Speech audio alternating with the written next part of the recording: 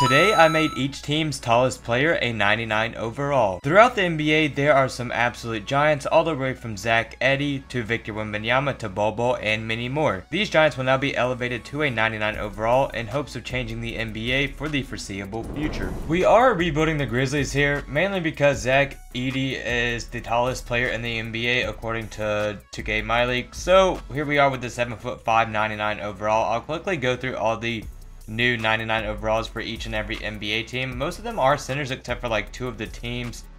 So for the Houston Rockets, Alperen and Jabari Smith Jr. were the same height, so I just made Jabari Smith Jr. 99 overall. Chet does win MVP, average 34, 15, 9, 2, and 2 as OKC is 99 overall. He also won Rookie of the Year. All right, Anthony Davis is now the sixth man of the year. How that man's coming off the bench is beyond me. Claxton just won Defensive Player of the Year. Look at those stats. 30 points, 15 rebounds, 8 assists, over 2 steals, and over 2 blocks. Amen Thompson was the most improved player. Claxton won Clutch Player of the Year as well. My gosh, this man took a leap. And then the Dallas Mavericks are the best team in the NBA. As far as the All-NBA first team, we have Chet, Evan Mobley, Victor, Vucevic, and Embiid. The NBA's All-NBA second team, we have Kel'el Ware, Alex Len, Derek Lively, Nicholas Claxton, and Trayce Jackson Davis. For the third team, we have, I'm not even going to pronounce his name, and then we have Mo Bamba, Mitchell Robinson, Jalen Duren, and Walker Kessler. As far as the all-defensive first team, we have Claxton, Vucevic, Wimby, Mobley, and Trayce Jackson Davis. For the second team, we have Mitchell Robinson, Walker Kessler, Alex Len, this guy again, and Kel'el Ware. So, as far as the playoff picture, we now have Dallas versus the Nuggets. Then we have Golden State versus the Clippers, Minnesota versus OKC, and then the Kings versus the Grizzlies. So nothing too different in the Western Conference. For the Eastern Conference, we have the Knicks versus the Raptors, Hawks and Pacers, Heat and Boston, and Bulls and Cavs. Once again, nothing too different for that conference. Now, for every team's new 99 player, we're just going to start with the 76ers. They probably had the worst end of the stick because Embiid's their 99 player and he's already their best player. For the Bucks, they now have a 99 Brook Lopez. The Bulls have Vucevic. The Cavs have Evan Mobley. The Celtics with Kristaps, Mo Bamba on the Clippers, Zach Edey. For the Grizzlies, Cody Zeller on the Hawks, Kel'el Ware for the Heat, Mark Williams on the Hornets, Walker Kessler for the Jazz. The Kings now have Alex Len, Mitchell Robinson for the Knicks. Him and Cat were the same height, so I just made Mitchell Robinson the 99 overall because Cat's already like an 89 overall. Jaxson Hayes on the Lakers. Let's look at move AD to the 3, or the 4, sorry, and LeBron to the 3, so the AD is starting.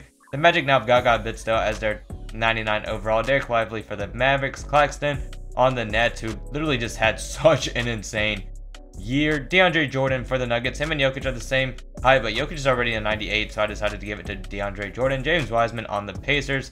Is it Yves Missi on the Pelicans? I have no idea. Jalen Duren for the Pistons. Jakob Poeltl for the Rap Raptors. Rockets, like I said, I give it to Jabari Smith Jr. Wemby, obviously, for the Spurs. The Suns now have a 99 Bol Bol. OKC with Chet. Rudy Gobert, for all you haters, is now a 99 overall. The Portland Trailblazers now have a 99 Clingan. Did they play him? They didn't even play him this year. Trayce Jackson Davis for the Warriors, and then for the Wizards, a power forward and Alexandre Sarr. Season stats on the year for our players. Ja Morant had 23 points, 6 rebounds, 8 assists, is still almost a block. Zach Edey had 23, 15, 9, 2, and 2. Desmond Bane had 16 and 4 assists. GG Jackson had 12 points, and Jaren Jackson had 13 points, only 4 rebounds, a little over a steal, and a little over a block. Off the bench, Marcus Smart had 8 points, 4 assists. Vince Williams had 6. Brandon Clarke had six, and then Santi Aldama also had six points. So we're pretty much going to get rid of the entire bench and most of our starters in all honesty, as we do upset the Kings in the first round to advance to the conference semifinals, and we have somehow made it all the way to the conference finals through upsets, and then we get waxed by the Dallas Mavericks, and we have a Mavericks Celtics finals, and the Celtics come out on top. Chris Kristaps does win finals MVP, averaged 24 points, 12 rebounds, 11 assists, 2 steals, and 2 blocks. I am going to make this trade for Shaedon Sharpe and Robert Williams. We lose Desmond Bane and Marcus Smart, but Desmond Bane had a pretty down year last season, and Marcus Smart is, what, 31 years of age. We get a great young big man in Robert Williams who can rebound and be a great defensive player. Then we get a great young two guard in Shaedon Sharpe. Him and John Morant in the backcourt is about to go crazy. We also clear up cap space and we can almost afford to sign a 99 overall player. I also did just trade for Isaiah Stewart to give us some more bench depth. Now we need to clear up about 9 mil in cap space. If I want to do this, we just need to get rid of, let's see, we can get rid of, we're probably going to have to get rid of Isaiah Stewart or Brandon Clarke. Uh, Isaiah Stewart averaged 7 points, 5 rebounds last season. Brandon Clarke had 6 points, 5 rebounds, a steal, and a block. I think we're just going to have to get rid of the man I literally just traded for. I traded our three worst players for him. I'm surprised we were able to get him. We're just going to trade for some first round picks here and now we should be able to offer what Brook Lopez a contract, Mo Bamba. Let's give Alex Len a contract. He's seven foot two. Let's give Bol Bol a contract, and then let's give. Let's see here. Let's give.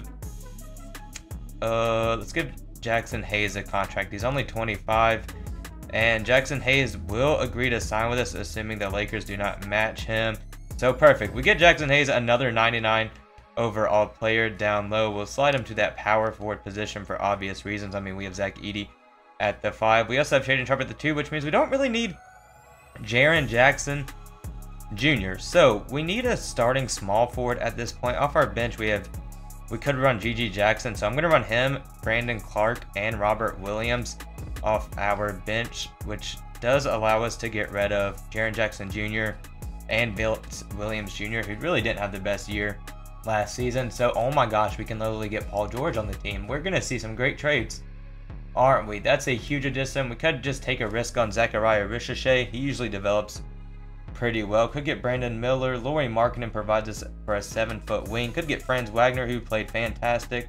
Honestly, so out of all these trades, I'm leaning towards Brand. Scottie Barnes is always a great addition. Gives us some more defense in that starting lineup. Just kidding. We're definitely going to trade for Scottie Barnes here. Definitely just the best addition. I don't even want Ja'Kobe Walter. We're going to slide him to that starting small forward position now. And then as far as our bench goes, we need to get a backup guard, don't we? We do. And it looks like Luke Kennard is our best bet here. We're going to give him 3 mil for two seasons in hopes. And now we have a complete rotation of John Morant, Shaedon Sharpe, Luke Kennard, Scottie Barnes, GG Jackson, Jaxson Hayes, Brandon Clarke, Zach Edey, and Robert Williams. Last year, we were the 7th seed. As of right now, we are definitely championship favorites. We're the first seed in our conference, and we have the best record in the NBA as of right now, according to the power rank. And we are on track to win 70 games here, we can tie the Warriors for the greatest record in NBA history, which we do by going 73 and 9. Victor does win MVP, Donovan Clingan with Rookie of the Year, Amen Thompson with Six Man of the Year, Claxton with Defensive Player of the Year, Brandon Miller with Most Improved, and Mark Williams as Clutch Player of the Year. Victor, Chet, Nicholas Claxton, Clingan, and Mobley all make the All-NBA first team with Walker, Kessler, Wiseman, Trayce, Jackson Davis, Kel'el Ware, and Yves on the second team. Then for the third team, there's Alexandre Sarr, Mark Williams, Jabari Smith Jr., Jalen Duren, and Mitchell Robinson. For the all defensive first team, we have Wiseman, Mobley, Yves, Clingan, and Claxton. Then Trey Jackson Davis, Kel'el Ware, Chet, Rudy, and Victor on the all defensive second team. So it's just going to be filled with those 7 foot plus bigs as Ja Morant averages 23, 5 rebounds, 9 assists over a steal. Shaedon Sharpe had 14 points, 4 rebounds, 2 assists, and a steal. Jaxson Hayes had 22, 12 rebounds, 8 assists, 2 steals over a block. Edey with 23 points, 12 rebounds, 8 assists, 2 steals, 2 blocks. Scottie Barnes had 14 points, 5 rebounds, 4 assists, a steal, and a block. Off our bench, GG Jackson had 12. Robert Williams had 6 points, 5 rebounds, a steal, and a block. Luke Kennard had 5, then Brandon Clarke had 6 points, along with half a steal and half a block. So obviously I'm a huge fan of our team. This rebuild is so far going so much better than the LeBron and D Wade Heat rebuild as we easily advance to the finals. As Jaxson Hayes wins a Kia Western Conference Finals MVP, that is never happening in real life. We do have a matchup of Cade, Ivey, Ausar, Alex Len, and Duren. So they have two seven foot plus players that are 99 overall as well. So this should be an interesting matchup. As we go up 2-0, we're up 2-1. It's tied up at 2-2. We go up 3-2, and we close the series out in six games to win an NBA championship as Zach Edey takes finals MVP. I am going to trade Brandon Clarke and Robert Williams real quick. We're just going to take Bobby Portis Jr. I was able to sign somebody from the draft, and actually I should say draft. They're 6'10", 195 pound power forward, so I'm going to run him at the power forward position with Bobby Portis at the backup 5 and GG Jackson at the backup 3. We got him with the fourth pick in the draft. Then we are going to trade AJ Johnson and Luke Kennard just for a better backup guard, and those are the only changes I am going to make to our rotation for the final season here as I was hoping for some better players. Miles McBride had 10 points, 4 assists last season. Let's see, Payton Pritchard had what, 12 points, 4 assists, 7, 7 assists. So we're just going to do this trade real quick for Payton Pritchard. And our bench now has Payton Pritchard, GG Jackson, Nate Ament, and Bobby Portis. Despite improving the roster, we are going to have a worst record this year, mainly because we started out the season like 10 and 10, so we haven't lost too many games since then. Still should win 60 games here on this season. We really did improve our bench though, so I'm happy about that. We're going to win 64 games here. As Jabari Smith Jr. does win MVP, Koa Peat wins Rookie of the Year. James Wiseman was six man. Why is he coming off the bench as a 99 overall?